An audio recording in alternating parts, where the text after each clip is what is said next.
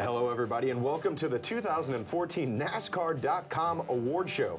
I'm your host for this fantastic journey, Chuck Bush, joined, as always, by my good friend, sometimes camera guy, and all-time host of Garage Cam, Matthew Dillner. Matthew, how was your off-season? My off season was terrific, but we're not here, Chuck, to talk about the past.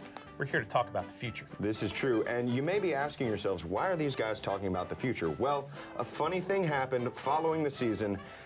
You may not recognize me right now because I used to have a full beard. Well, our six-time champion, Jimmie Johnson, following his championship victory at Homestead, shaved my beard.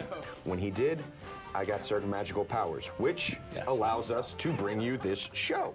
Clearly, magical things were happening in, in Florida. Now, Matthew, what is our first award of the day? Well, our first award is a big one the best nose job of 2014.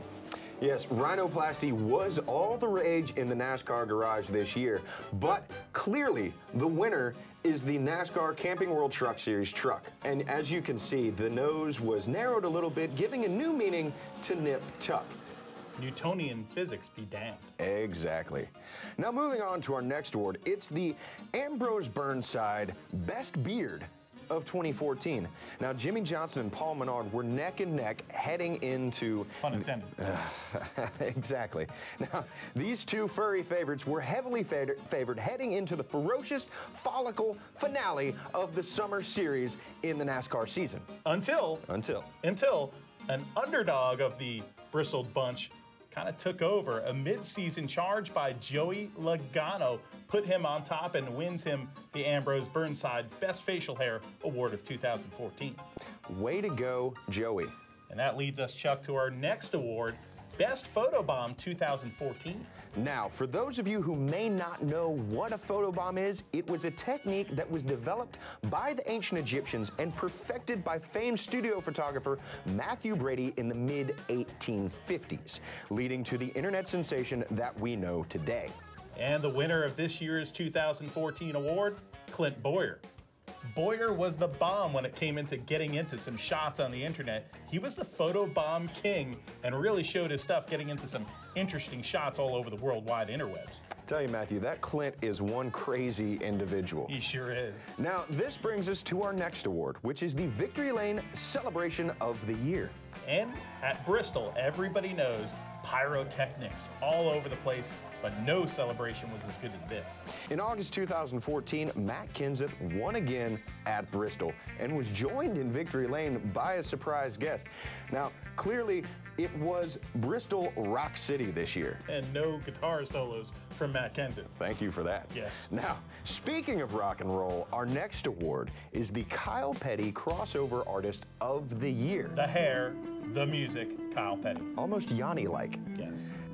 So many in the NASCAR community were looking forward to the late summer release of Hendrick Motorsports label's new offering from Dale and the Juniors, a smooth jazz album that rivals the likes of Dizzy Gillespie and Wynton Marsalis. Now, we here at NASCAR.com have a sample of the album, so let's take a listen.